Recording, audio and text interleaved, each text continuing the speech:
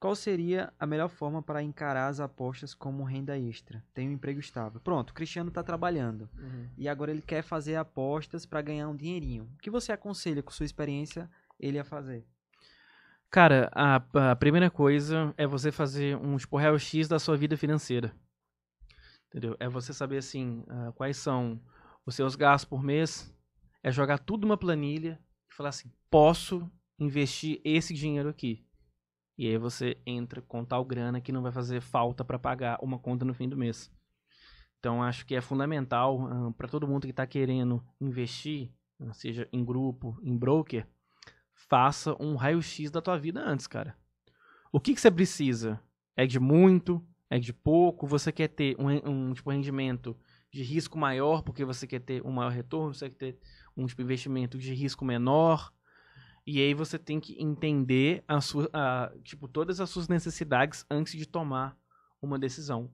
O dinheiro é seu e ninguém melhor para saber da sua uh, tipo, vida financeira do que você. Sim. Aí vai do seu mérito ou não tomar a escolha certa. Mas a faca e o queijo está na tua mão para tomar a decisão. Aí, aí, uh, aí vai depender do seu feeling, do seu tato de opa, beleza, eu quero um cara que vai uh, ter uma uh, tipo, variância maior, mas você tem que estar preparado para isso. Né? Ou quero ter um cara que vai ser mais consistente, que vai ser mais sólido. Beleza, então, uh, tipo, Cristiano, a tipo, dica que eu dou para você é faça um tipo raio-x, jogue todos os seus gastos, os seus ganhos numa planilha, vê certinho o que você pode investir e é isso, cara. Não tem receita mágica. Boa. O Diogo colocou aqui é, um abraço para vocês e queria perguntar ao Vini qual tem sido a sua maior dificuldade nessa temporada da NBA. Minha maior dificuldade, cara, tem sido com os times grandes não querendo nada com a temporada regular. Porque, assim, é, ele, ele, ele, concordou ali comigo, né?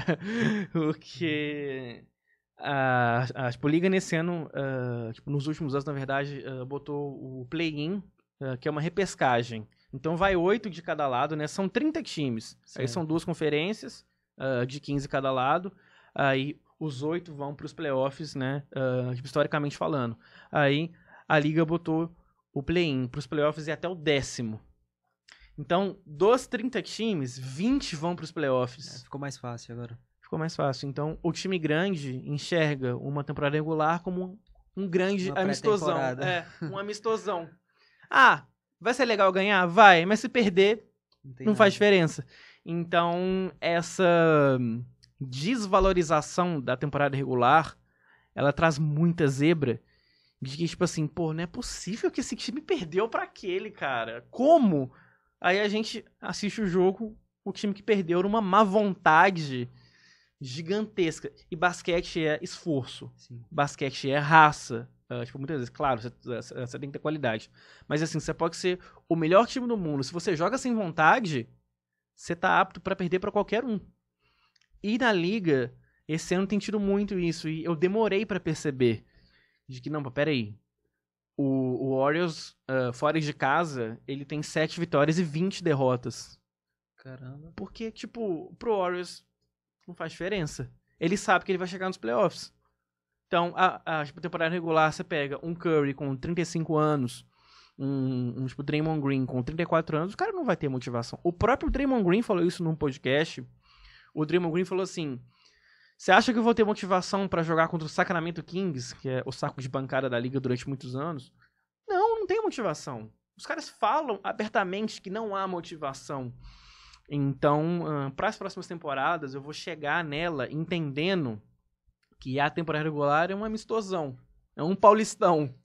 Tá e a competição só começa mesmo nos playoffs. Só começa nos playoffs. Ah. Boa. É, Futebol é Arte perguntou aqui: qual a gestão de banca para um apostador que faz em média 30 apostas por mês? E eu já queria que você emendasse qual a gestão de banca que fez sentido para você. Uh, 50 unidades. 50, uh, tipo, unidades. tipo 50 unidades e com uma stake fixa. Porque a stake variável para mim ela traz mais uma dificuldade pro nosso negócio, porque você pode ter uma confiança além do que é necessário. Tipo assim, você acertou seis bets seguidas, você fala, na próxima eu vou pôr duas unidades, que eu tô sentindo, eu tô on fire. e aí você cai do cavalo. Então, a stake variável para mim, ela pode ser perigosa. Então, ela tem que ser muito bem calculada para ser utilizada, senão vira zona. Aí você tá, uh, tipo, menos 5 no mês. E faltam 3 dias. Ah, vou jogar 3 backs de 12 unidades para ver o que, que dá. Não, não é assim. Então, eu prefiro stake fixa que vai me dar um sentido maior para o longo prazo. Ele perguntou sobre a gestão para quem faz é, 30 backs no Poucas mês. bets no mês, né? Eu acho que uma gestão de, de, de, de 50 tá ok.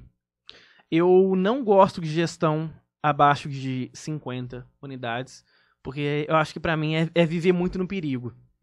Eu acho que é viver perigosamente. Então eu prefiro como limite máximo uma gestão de 50, porque você consegue ter uma bag run, ainda sair dela, ainda conseguir ter um bom retorno, então você não tá vivendo no perigo. Agora, já vi que tipo, você fazendo uh, gestão de 10, de 20, aí é kamikaze. Aí é, é roleta russa. É, antigamente eu não via muito isso, mas passei a ver 40, 30 unidades com frequência. É, eu eu não julgo porque talvez o cara pode, tipo, eh, pode ter sentido para ele, então eu não gosto também de ditar regra longe disso, mas para mim, pessoalmente, eu não fico confortável com uma gestão abaixo de 50. E 200, quando o cara faz 200. A gestão de, de 200 unidades, aí eu acho precaução demais, né? Aí eu acho que o cara tá sendo muito. A não ser se ele for um, um, um, um, um clicador imparável que vai mandar 600 backs no mês. 30 aí. É, vai mandar 30 backs num dia. Aí beleza, aí uma gestão de 200 faz sentido. Agora, para um volume normal, eu acho que uma gestão de, de 200 é ser cauteloso até demais. Boa. Para finalizar, tem um, o, o André perguntando aqui. É, já que a gente falou sobre essa questão né, do pessoal querer se escorar muito nos outros, pedir oportunidade sem fazer o nome, esse tipo de coisa, o que é que você aconselha para um cara poder iniciar seu canal público, fazer um canal free e aumentar a quantidade de pessoas para até chegar no VIP. Uhum. Como ele consegue ganhar seguidores, como Sim. ele vai ganhar visibilidade? Tipo, só pra mencionar antes que uh, tipo, eu acho muito válido quem pegue chance pra gente, uh, tipo, como mais é nome. Sim. Assim, uh, tipo, só pra tipo, deixar claro. Só que tem que entender que os processos precisam ser respeitados. Que você não vai sair do free pro broker em duas semanas. É só isso que eu quero deixar claro. Tá referente a crescer seu canal e tal, duas coisas. Fazer um trabalho sério, fazer um trabalho honesto, porque você vai ter longevidade no mercado, né? Uh, você vai conseguir uh, projetar a tua carreira durante muito tempo. E segundo, network. Acho fundamental. Então, assim, ah, você quer trabalhar com o Sérgio, com o Vini? Pô, chama eles pra conversar no Instagram. Fala, pô, Vini, uh, eu gosto muito do, do, do teu trabalho, eu quero estar perto de você. Como que eu posso? Pô, você pode trabalhar comigo pegando back, você pode trabalhar comigo planilhando, vamos fazer um teste interno, sabe? Querer uh, pôr o seu time no jogo, eu acho muito válido. Então, assim, uh, chamar um cara que você quer trabalhar junto e, e falar assim, cara, eu tô disposto, quero trabalhar e tô com muita vontade, me dá uma chance. Acho muito válido isso, acho incrível isso, inclusive. Então, eu acho que é uma oportunidade de você crescer junto com uma pessoa que você admira, que você quer estar junto com ela, que você quer aprender com ela.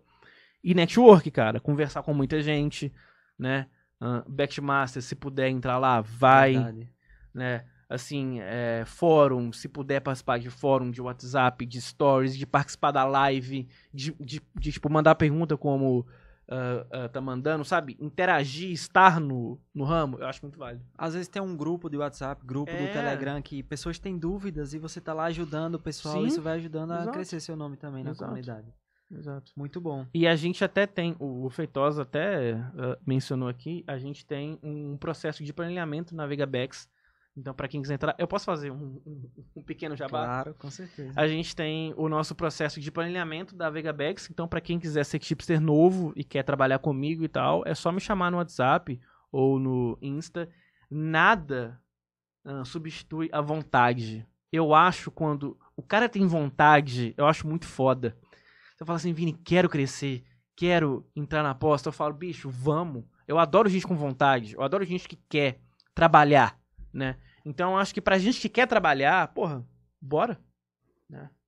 Aí se o tempo vai dizer se você é bom ou não é outra coisa. Mas tudo começa com a vontade. É, Né? isso mesmo.